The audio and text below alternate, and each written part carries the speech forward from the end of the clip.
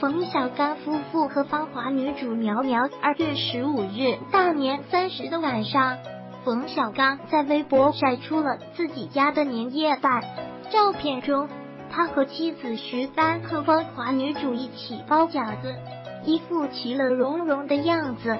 五十一岁徐帆和冯女郎合影，气质丝毫不逊色。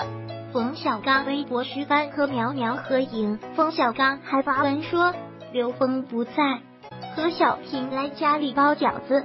很多人说苗苗和番子长得像，看来二十年后的何小平就长这样。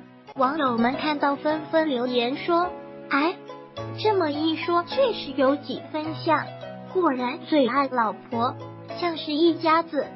新年快乐哦！我想吃你们家的饺子。